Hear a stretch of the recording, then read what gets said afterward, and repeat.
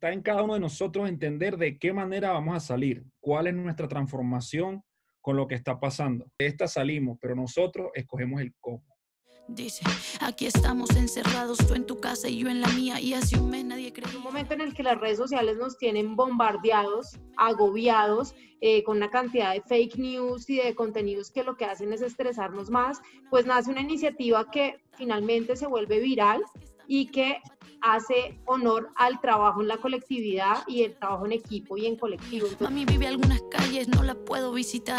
¿Quién diría que un abrazo ahora es un arma mortal? Yo antes de, de, de empezar como a escribir ideas, yo estaba muy como muy, un poco frustrada. Siempre a mí me ha gustado escribir cartas y de ahí tratar de escribir canciones, ¿no? Lo mío siempre empieza como de una catarsis, siempre empieza de, de algo que tengo que drenar y honestamente pues estaba pasando por situaciones súper complejas familiares, que si mi hermana iba a dar a luz en no sé dónde porque se quedó en un país, que si mi mamá ya está pues de edad y tiene los pulmoncitos delicados, que si de la nada empiezo a ver estas noticias y yo digo, Dios mío, es que a todos nos, nos, nos, cayó el mismo bacatazo, el mismo tamborazo en, en, en diferentes aspectos, ¿sabes? Eh, o sea, a todos nos, yo siento que a todos nos está afectando a nuestros niveles.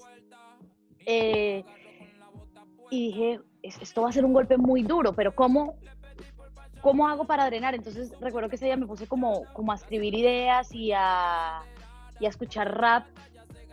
Y de ahí sale la idea como de, hey, porque Andrés me dice, el, el, que, el que hizo el beat, Andrés Savera, me dice, ¿por qué no, por qué no haces un, como un rap de, de un, un, rap? De hecho, comenzó con un rap y tal vez hacemos un challenge y tal vez, ta, ta, él, como que creo que subestimé eh, lo que todos estamos sintiendo afuera y lo fácil que fue literal decirle a cada uno de estos chicos, hey, hermano, ¿te quisieras montar a este challenge? Ah, dale de una, de una, súper chévere. Hay como muchos aprendizajes, muchas capas de aprendizaje dentro de lo que se está pasando a nivel global y para mí como que lo fundamental en nosotros, capaz en los que estamos aquí en este mismo grupo, por eso mismo, es la empatía la empatía emocional nos conectó como con la idea. El método que utilicé como de composición fue como en pequeños bloques, pues, como que no, no era una idea general, sino más bien ideas muy concisas. Mucha gente tiene la bendición de poder estar en su casa, ¿no? 40, 60, 6 meses, si quieren, guardados, sin abrir la puerta, ¿me entiendes? Porque tienen los medios, pero hay mucha gente que lamentablemente no los tiene. por lo tanto, que de ser un challenge tuvo como eh, esa, esa empatía emocional con la gente para convertirse en una canción, ¿sabes? Siempre he tenido claro que cada, de todo cambio eh, significativo siempre como que parte de un caos y eso es algo que conocemos todos eso es algo que viene, eso es algo que viene de, de, historias ancestrales, que yo soy una persona que siempre ha dicho, bueno, nada es malo, nada es bueno. De hecho, ayer subí una historia donde te etiquetaron los muchachos, de que nada es malo, nada es bueno, todo es relativo y funcional. Uno no sabe hasta dónde algo es malo hasta que el tiempo te dice cuán bueno fue.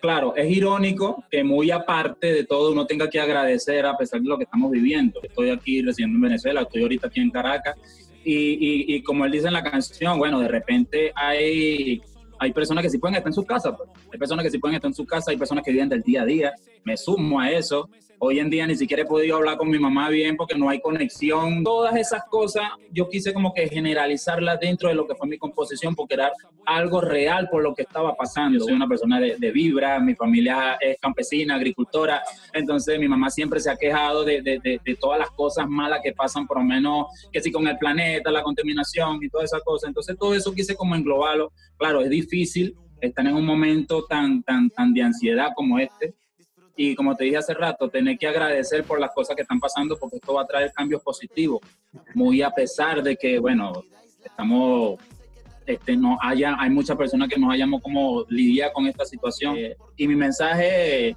en la canción como tal fue ese, o sea, bienvenido sea el cambio, no sabemos cuál va a ser el cambio, pero sabemos que, que de una u otra manera esto nos atrae cosas positivas, vamos a aprender a valorar cosas, vamos, la gente está sacando lo que verdaderamente es. Como dice mi mamá, o sea, las la personas no, no, no es que cambian, solamente tardan en ser quienes realmente son. Y esta situación nos ha ayudado a, a, a, sacar lo que realmente somos. Yo hace tiempo quería concientizar a la gente como de esta situación que estamos viviendo y la gente no es consciente de que este cambio también trae cosas malas, ya no solo, o sea, así como trae cosas buenas, trae cosas malas y hay que tener precauciones y la gente no, la, no las ha tenido o ya se está concientizando más porque esta cuarentena nos ha hecho que el tiempo que no estamos en la calle lo extrañemos, extrañemos las pequeñas cosas, por eso escribí también sobre eso, sobre eh, antes éramos felices y ni cuenta nos dábamos. Traté de dar el mensaje sin agredir al público, a la gente, un mens eh, o sea, que no fuera un mensaje agresivo, sino como más de corazón, que lo sintieran,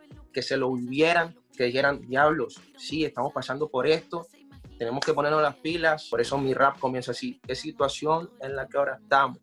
¿Qué situación ah, en la que ahora estamos? Para mí era bien importante eh, que todas las personas se unieran en torno a, esta causa, que no fuera solamente como, como hablar de la situación en general, sino que qué vamos a hacer al respecto, cómo, cómo esto nos puede convertir en mejores seres humanos. Y cuando, cuando yo me sumí a la canción, eh, que Piti me contó lo que, lo que ella quería hacer, eh, yo no tenía claro de qué era lo que yo iba a escribir, pero en la medida en que fui escribiendo mi verso, solamente pensaba en la gente que no tenía eh, ese sustento del día a día. ¿Qué pasa con la persona que vive del día a día? ¿Qué pasa con la persona que vive del comercio informal? Eh, ¿Qué pasa con la persona que, que, está empleada? Entonces, era un llamado porque yo incluso pienso que individualmente, individualmente cada persona puede hacer una gran diferencia dentro de este cambio y, y, en eso fue lo que quise concentrar mi, mi, mi, verso. Yo todavía no asimilo nada de lo que está pasando. Yo los últimos dos años eh, he estado, me enfoqué en una meta de vida que era, eh, quiero viajar, quiero conocer el mundo. Eh, entre todas esas cosas, tengo un hijo de ocho años que lo, por la situación que estamos viviendo acá en Venezuela, dije, hijo, necesitas una vida mejor y lo mandé a vivir a Argentina. Cuando me doy cuenta de que no puedo visitarlo, de que no puedo ir a verlo, de decirle, mira, te amo, hijo, en persona, esa, esa cosa en verdad me choqueó. Por eso digo que después de que pase esto, ninguno va a ser igual porque no, no, sabemos cómo vamos a reaccionar a ver el mundo exterior. Más impresionante es eso, que todos estamos pasando por la misma situación. Y es algo que yo creía que era imposible. Fíjate que acabo de leer un artículo donde dice que en situaciones mundiales como pandemias, todos los países son el tercer mundo. Eh, no estoy diciendo que la pandemia fue, o sea, que si no tuviésemos una pandemia no hubiésemos hecho este junte, pero definitivamente esto nace de la necesidad también de querernos expresar, pero lo, lo, mágico de esto es que cada quien agarra el mismo beat y escribe lo que quiera, lo que siente. es nuestro granito de arena, es lo que yo siento que nosotros podemos eh, hacer desde casa, ¿no? Y algo sí nos enseña esta pandemia, que a pesar de la del distanciamiento social, nos hemos unido más como seres humanos, mentalmente, sin necesidad de abrazarnos. Eh, en la unión está la fuerza, chicos, que ojalá salgamos de esto siendo nuestra mejor versión. Está en cada uno de nosotros entender de qué manera vamos a salir, cuál es nuestra transformación con lo que está pasando. De esta salimos, pero nosotros escogemos el cómo.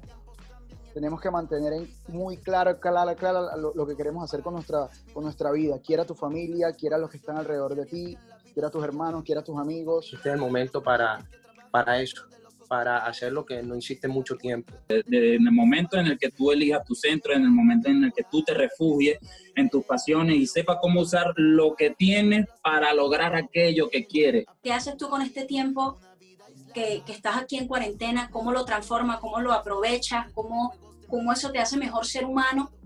Y eso que de repente alguien en su casa, en su hogar está sintiendo, esa incertidumbre, esa tristeza o, esa presión es algo que todos estamos sintiendo en algunos días.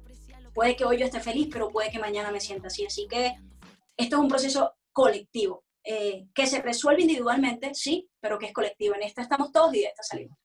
Aquí estamos encerrados, tú en tu casa y yo en la mía, y hace un mes nadie creía, hey, que